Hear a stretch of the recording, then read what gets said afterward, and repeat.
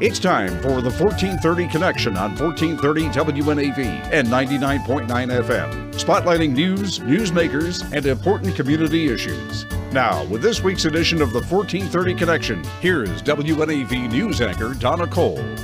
Welcome to the 1430 Connection. I'm Donna Cole. In the studio with me today are Pam Ray and Tim Wilbrecht. Pam is chairman of the Eastport Yacht Club Foundation and Tim is the vice chairman of the Eastport Yacht Club Foundation. Welcome to both of you, and thank you for joining me. Thank you both. Thanks for having us. Pam, as I uh, mentioned to you before we started the show, people have this image of yacht clubs as being maybe catering to the privileged elite. There's not a lot of knowledge that there is this other side of Eastport Yacht Club, and that's the Eastport Yacht Club Foundation. Correct, yes. And this is the giving arm of mm-hmm. the Eastport Yacht Club, and this is very cool. So when we're in December, we're hearing about the Eastport Yacht Club right now because of the the lights parade. The lights parade. So there is more to the yacht club than just this lights parade and just a place for sailors and powerboaters to gather. It is this giving arm called the foundation. Tell me what the foundation is all about, Pam. The foundation encourages youth in both education and stewardship. And the three things that we focus on are to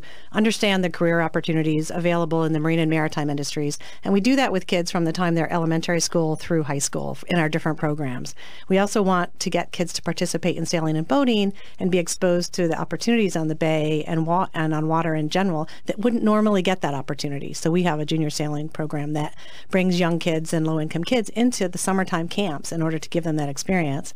And then we are, embrace the responsibility of stewardship for the bay. And all of our programs, we weave um, ecosystem and environmental programming throughout them. So cool. I'm so glad to hear about all this mm-hmm. because I had no idea. And I, I, just love that, that you're encouraging those that can't get out on the bay to get out on the bay to learn about boating, that there's this environmental interest. It's just fabulous. It was surprising to us to learn that some of the kids we serve in our STEM program, which is teaching math and science through sailing and boating, some of them are right at the Eastport Elementary School. And we found out last year from the teachers that when they come to the yacht club, which is four or five blocks away, it's the first time they've ever seen the Chesapeake Bay and they're bewildered and overwhelmed by it at first. Oh so we do a little bit of welcome for them that gets them acquainted with it. But it's it's you, you just don't think in terms of the fact that they're close yet they're so far. So we really appreciate the opportunity to work with the people we work with to bring them down and to provide them with this new the new insights on life. And speaking of the people you work with, you're unique in the yacht club world. You do have some people that you partner with. We do, including Anne Arundel County Public Schools, right. So we have a continuum of programs, and we start with elementary school where we offer our junior sailing programs for summertime to bring in our elementary and middle school programs. Our STEM program is focused on fifth graders. We noticed a couple years ago when we did focus groups in this area with nonprofits that the, the issue of STEM education was not being addressed in the elementary schools. So we work with three elementary schools in this area and Anne Arundel County Public Schools in order to bring those kids to the yacht club. And we do three days. We do about 100 or 120 kids, fifth graders, and we spend a morning doing modules on land where we move them around and we teach them about different things about navigation and ecosystems, mechanical advantage, where it's all hands on, and we take them on boats in the afternoon. And our relationship with Anne Arundel County Public Schools is what makes that happen because otherwise we wouldn't have access or the easy coordination to get those kids. And Anne Arundel, we have Laura Pinto who runs uh-huh. the STEM program, and we have David Foley who runs the Cat South program, which is marine technology, both on our board. And so as liaisons to the foundation, we bring the programming and they bring the students and they bring resources. That's so it's one component you noticed missing from the STEM program in the schools that you wanted to beef up. Is that what you're Well, what we're saying is that if you we we were originally with the STEM program, what we wanted to do was share it around the Chesapeake Bay with other yacht clubs. We're like, let's develop a model program, a pilot program, serve it in Anne Arundel, and also share it with other other yacht clubs around the bay. Well, as we reached out, we started to find out these other yacht clubs don't have relationships with their local schools. And that was the key to making these programs work for us is having somebody that did the work on that side of it that could bring the students in that could tell us what the needs are. What are the needs of your fifth graders? Would they benefit from this? They worked with us on the curriculum to um, to put it together, and we actually did share it last year. We took the fifth grade program outside of Anne Arundel County, and we shared it with the Calvert Marine Museum, and they had it for two weeks. They ran it for St. Mary's and Calvert County kids. They served about 200 people, parents, kids, homeschoolers, schoolers, and um, what they're going to do this year is they're going to build their own modules and they're going to continue to run it based on our curriculum. So now this year we can take that program and get it into yet another community that has relationships with, with the schools, which is turning out to be the maritime museums. Nice. So, Yeah. with the ultimate goal being hit every maritime community in the United States, from Annapolis to San Diego, up to Newport, down to Miami. That would be fabulous. I mean, our goal is to start get this get this energized around the bay, and with that, fo- hopefully, other folks can pick it up or in other states and around the country. That would be great. And you're prepared right as of now to send somebody all these modules and all of your Yep, knowledge. we, yeah, we have a lot of things, resources we can share with them. They just have to come up with the schools. so Newport, San Diego, Miami. Are you listening? Are you out there? Yeah. Maine. Yep. Tim, you're the vice chairman of the Eastport Yacht Club Foundation, but you also bring a particular knowledge. You own a boat dealership here in Annapolis. Yes, I own Annapolis Yacht Sales. So, is this something that you see benefiting the yacht sales, boat sales industry? I- You're creating little boaters. Absolutely. Well, and not only that, you're creating the mindset that there is an opportunity in the maritime field. I mean, there's one aspect that's very tough when you're running a business is finding qualified people to come and work for you. So our goal by getting kids early in their life is to start setting a precedent that you know that that job being a mechanic or working in a boatyard there's actually some really high paying jobs out there in the marine and maritime industries. And so my uh, interest in getting involved in the foundation was to help perpetuate that. I mean, I, I never saw myself as a fifth grader, you know, working in the maritime industry. Yet here I am. So I, I my hope is that we can inspire a few young kids and then nurture them along the way with the other programs that we have um, to to help them develop the sense that this is something they might want to do. And especially living here in Annapolis, you know, we call ourselves the uh, you know the the capital of sailing in America. So what what a better place to do that than here? What a win-win, right? Yeah, and w- after fifth grade, our our middle school and high school program is huge. It's a marine and maritime career fair. Actually, Yeah. let's talk about that. We're going to take a quick break, Okay. but when we come back, we're going to talk about growing up with the Eastport Yacht Club Foundation. I'm Donna Cole. This is the 1430 Connection. We will be right back.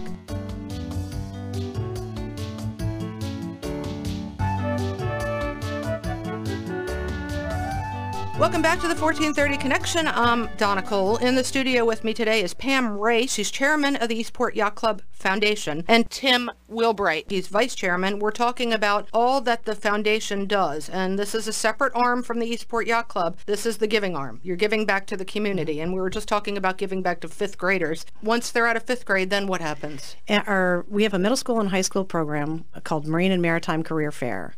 And it's once a year, the fourth Saturday in February. And it brings together people from across marine and maritime jobs and careers and fields in order to teach kids that these opportunities are available. And it's a career fair. We never set it up as a job fair because we really thought it was important to start exposing kids to the opportunities that are out there and to teach them about the pathways to get there because our kids are not born knowing about these careers. Right. And this is the seventh year of it. Um, the reason that whole thing started was from the marine trades industry. You know, thinking back six or seven or eight years ago, how are we going to fill our company? Who's going to run our company someday? And so nobody was in the pipeline. Where's our workforce? Well, you know what? The kids don't know until you teach them. So the Marine and Maritime Career Fair was started in order to educate the kids about marine trades, and it has expanded so that it also includes maritime shipping and marine sciences across the board, anything marine and maritime. And we had We've had a couple hundred kids every year come, but last year, under Tim's leadership, he's also chairman of the career fair.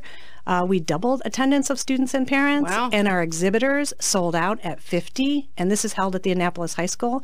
This year, we expect to break those records again, which means more and more people are learning that we're there, and they're learning that they that it's of interest, that it's And something that, they want to do Careers exist. that they exist and they not only exist uh, but they exist here Yeah. and people can learn people learn that they can not only grow up here and play here but they can work here and raise their families here and make a good living Tim, tell me what date this is being held. It's uh, February 25th at the Annapolis High School, uh, right right up the road from us on Riva Road, um, and it is from noon until four. And open to kids and parents of all ages Absolutely, kids, high school, college kids. You know, surprisingly enough, we had a number of colleges show up and a number of college age kids coming through, not only looking for summertime work, but also just interested in maybe switching from one school to another because of their interest, let's say in marine biology. And these schools that have those dedicated programs that are very specific to the marine industries and maritime trades, they're there. And so uh, the kids got to introduce themselves to the colleges. One of the busiest booths was one of the college booths. And it was just really exciting to see the kids get to know what the opportunities are out there in these fields. I know you can't name every single one of the exhibitors off the top of your head, but try to. We have maritime schools there. The University of New Orleans was there last year. The Landing School has been there. The Auto Tech, what's the Technical Training Center? Yeah, the Training Automotive Center? Training Center. And Anne Arundel Community College. They nice- came for the first time last year. They have something. And really, we started out middle school and high school. And a couple years ago, we started to get parents calling and saying, hey, can I bring my college kids? They still don't know what they want to do. We're like, absolutely. So we started to reach out more and more to the colleges and universities, too. Super. This it really is a, a great thing. And so one more time for the date on that. February 25th at Annapolis High School. And to find out more information. Just go to our website, www.eycfoundation.org. Okay, And Pam. it's actually our registration is set up on our website for exhibitors and for students. And we like students to pre-register because we have they can qualify for a grand prize if they do it, and those are pretty big. and this is free. Hmm It's free for students. The exhibitors pay for their booths. That pays for the event.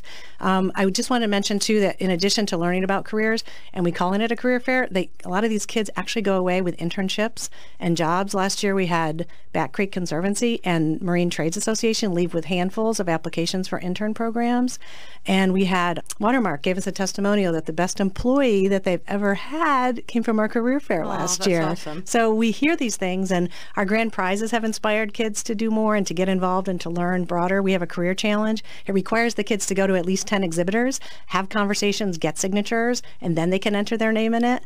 A couple of years ago, we had a Lear engine um, donated by Scandia Marine, and we at, at the last minute we're like, oh no, what if the kids get this and then they sell it on eBay? It did not happen. Someone won it. They got a job. This young boy got a job. He bought a boat, and he put the two together. Oh, so, Oh gosh. so this Yeah. this inspires in a, from a lot of different directions, and the exhibitors are key mentors in this. So we have tried to encourage exhibitors to bring youth too. Bring your younger kids because the kids like to talk to kids, and hands-on anything hands-on that the kids can touch and experience. We've had we had engine. What did Carl bring last year? Brought a big diesel engine, a big Westerbeke. And the other thing that's really interesting is we have some speakers that we bring in and the talks that they're able to give to talk about what they do every day. And it's really interesting to hear the questions that the kids have for these for these speakers. They they give great speeches about what their life is like and I think really inspires the younger kids to really think about taking a path towards a career in the marine fields because of what they hear. I think it's one of the few opportunities and one of the few industries, at least here locally, that offers this type of experience. So I, I think that it's unique and that kids respond to it. Nice. We're going to take another short break. This is the 1430 Connection. I'm Donna Cole. We will be right back.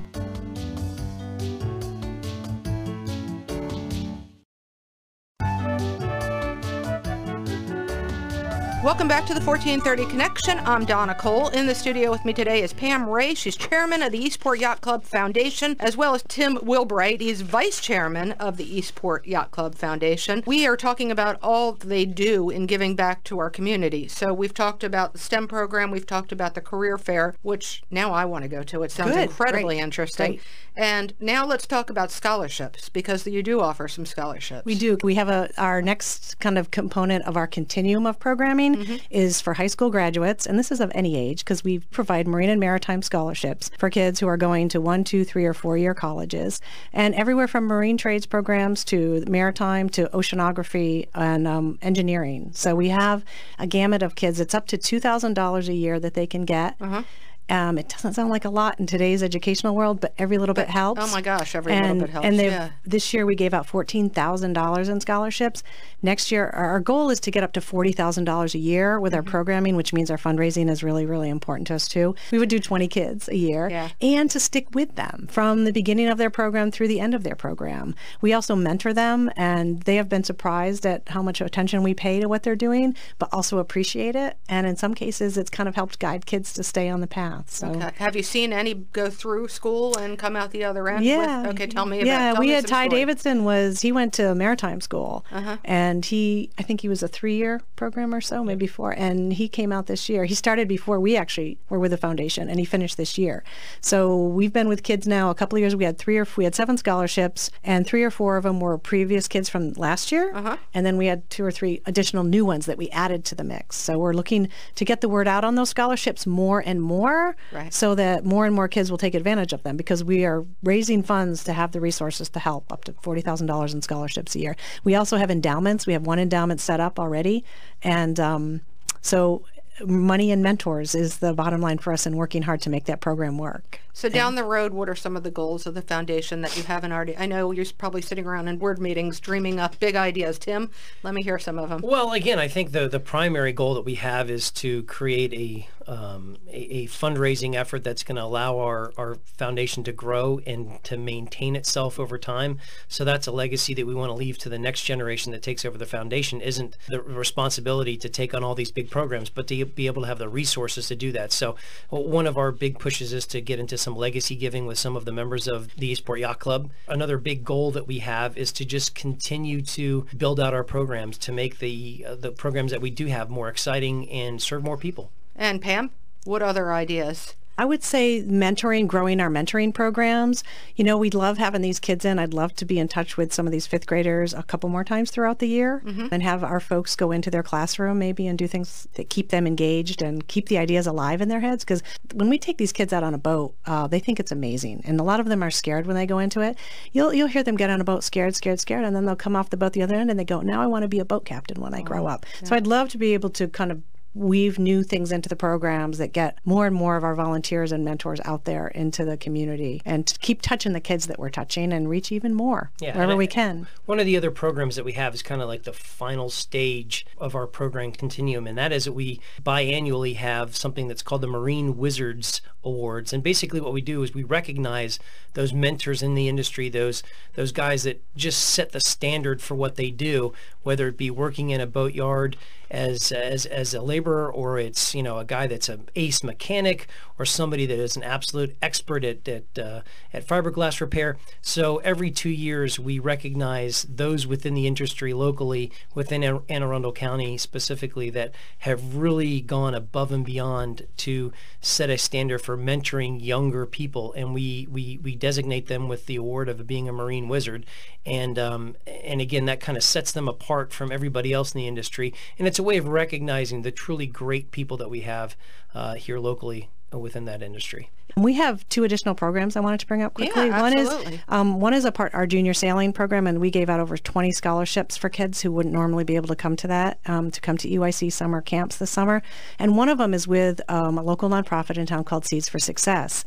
And last year when we were doing this, we were looking for a group of kids, and we started to give out some scholarships to them. And it turned out that we that our junior sailing program created an entire week just for them. So they took their oh, Seeds for Success kids yeah. from that camp to EYC for a week, and nice. these kids are still talking talking about it. Right. And that's one of the areas that like they want to come back now. And so we're looking at maybe using one of our STEM modules in the wintertime to bring them over and keep them like let them come back to the club and do something different. Yeah. yeah. and do that. And the other program we have is a community grants program, which is typically um, we have worked with Spa Creek Conservancy and Back Creek Conservancy. Mm-hmm. We've given a grant to Cat South, and these are all tied into either the stewardship of the bay or marine and maritime careers and getting kids hands-on experience out there. And we actually have a couple more left this year. So if there's anybody out there looking for a community grant to that meets some of our um, our vision and our mission, we'd love to work with you. One more time on the website. Oh, it's eycfoundation.org. And that's where people that, that are looking we, for grants, yeah. information on the yes. STEM program, information on the scholarships, information on everything we've talked yep, about. Yeah.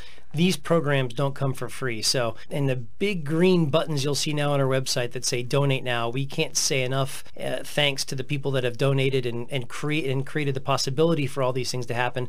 But the only way to continue to do what we do is to is to get out there and, and fundraise. So we set the bar very, very high this year as far as our fundraising efforts go. And uh, so far we're on track to meet those goals. And uh, we just can't thank enough the supporters because it is a 501 foundation and it's a tax deductible way to to help create the, the next generation generation of stewards of the Bay. And as you know, we're in Annapolis, and that's pretty important. Yeah. We're going to have an auction at EYC on Wednesday, December 7th, and we're looking for donations for that. So far, we have Scandia Marine donated a, a whole haul out and a couple months of storage valued at $1,800. Wow.